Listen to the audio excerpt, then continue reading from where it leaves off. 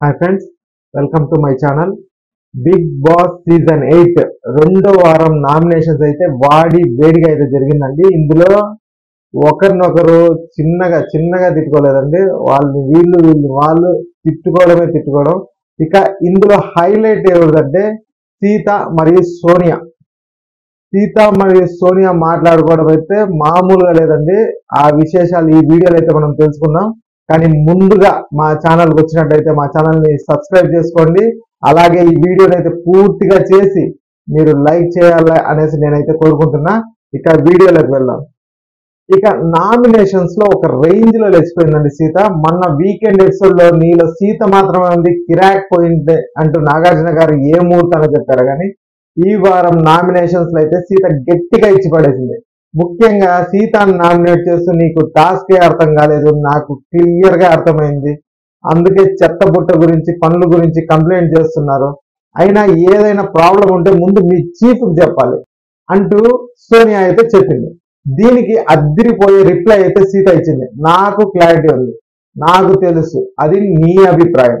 నాకు నొప్పి వస్తే నేను చెబుతా.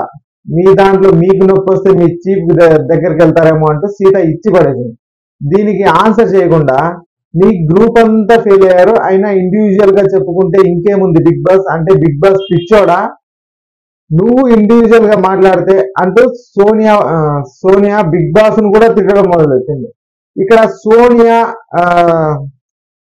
సీతతో మాట్లాడుతూ ఈ విధంగా అంటే తను నోరైతే జారిపోతాను సోనియా మ్యాక్సిమం సీత విషయంలో అయితే.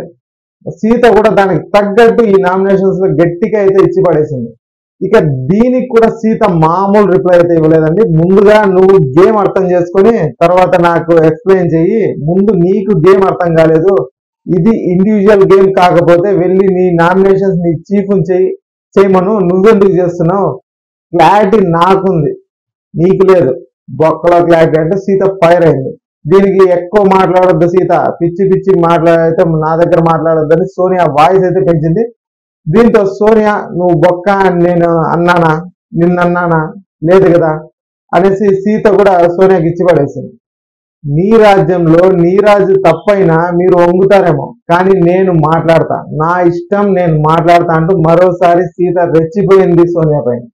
ఇక వీళ్ళిద్దరి నామినేషన్స్లో జరిగిన కన్ మాటలు ఏవైతే ఉన్నాయో వీళ్ళిద్దరిలో ఎవరు కరెక్ట్ అనేది మీరైతే కింద కామెంట్ రూపంలో అయితే తెలియజేయండి. ఇక ఈ వీడియో నచ్చినట్లయితే మా వీడియోని లైక్ చేయండి. అలాగే మా ఛానల్ అయితే సబ్స్క్రైబ్ చేసుకోండి. Thanks for watching